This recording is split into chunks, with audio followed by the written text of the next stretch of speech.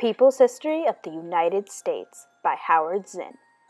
Chapter 6 Greek Life, more like Greek Strife.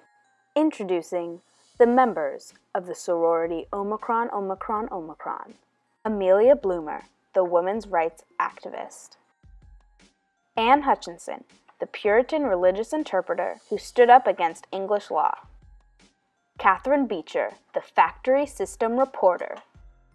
Martha Moore, the one who makes sanitation products for babies and children.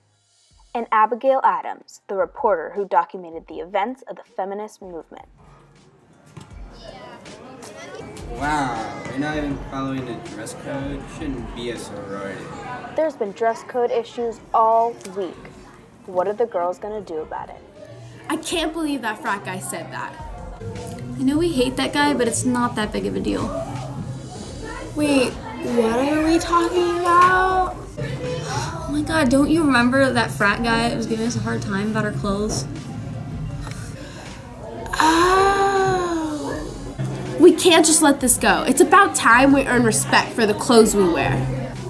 I don't know. I have a lot on my plate right now. Lies. I just saw you singing to yourself in mirror the other day. You know what? She's right. It's not fair that those frat guys get to wear whatever they want and we don't. We don't have any projects right now. We might as well stand up for our rights. I guess so. Sure. I don't really know what we're doing, but yeah, sure, I guess. Whatever. Oh my god. Is that the frat guy from Zeta Zigga Zama? It is. He has a thing for himself and bonnets. Oh my god. Okay, guys. Now that we know his secret weakness, how are we gonna get him on our side? Wait, the guy from Alpha Sigma Sigma? Okay, let me make this clear. We are blackmailing the guy from Zeta Zigga Zama. We are Omicron, Omicron, Omicron. Got it? Oh. Hmm, should we announce it in front of Zeta Zigga Zama? I don't know. Seems a bit harsh. Maybe we should just confront him. Oh. Oh my god, I know. We should tell his mother. you kidding me?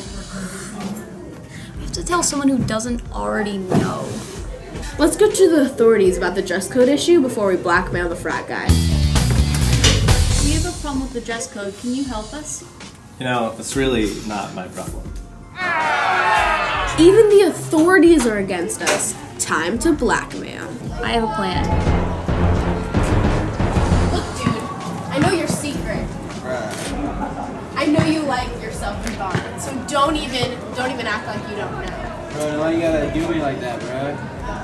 I won't tell your frat guys if you're on our side about the dress code. Hey, bro. And Omicron, Omicron, Omicron celebrated. Soon, bloomers, named after Amelia Bloomer, were created. They kind of look like pirate pants, but it's really up to interpretation.